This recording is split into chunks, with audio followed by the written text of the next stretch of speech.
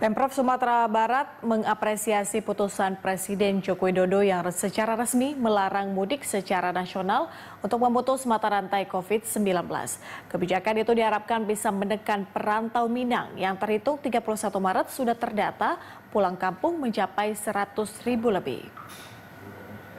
Sudah siap benar-benar Gubernur Sumatera Barat Irwan Prayitno menyambut gembira putusan resmi pemerintah yang melarang mudik secara nasional. Menurutnya, kebijakan itu sangat penting karena bisa menekan penyebaran COVID-19, khususnya di Sumatera Barat.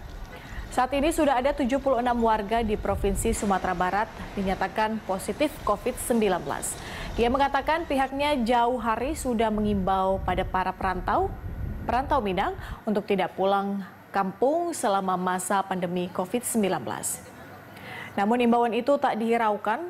Data dari 31 Maret hingga 20 April menunjukkan 100 ribu lebih perantau Minang sudah tiba di kampung halaman.